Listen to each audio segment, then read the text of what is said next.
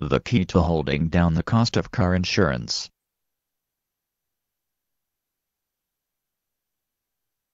Having at last purchased your new car, now you are worried about auto insurance costs and what you are able to pay.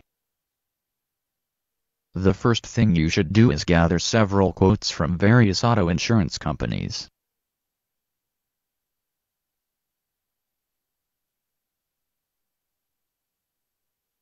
After you have gotten several quotes together, you ought to think about contacting the company personally to speak with a representative regarding possible discounts.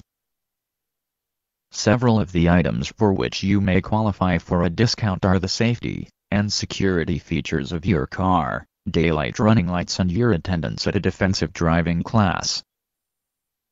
If the automobile which you purchased is a used car, you will be able to choose the type or types of coverage that you need. Liability insurance covers the other person's expenses.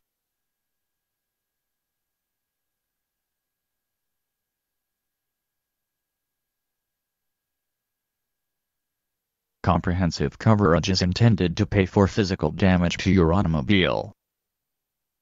Collision insurance provides for any damages sustained from hitting anything.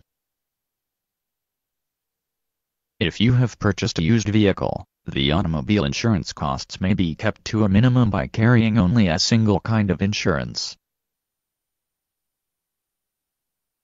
Another method of keeping the cost of your automobile insurance low is to choose a higher deductible amount.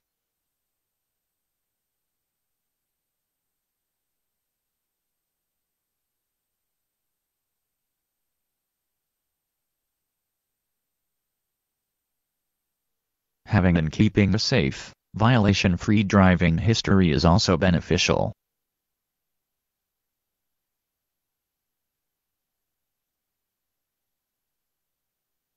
No matter which kind of insurance you choose to purchase, there are methods by which you can keep your overall cost to a minimum.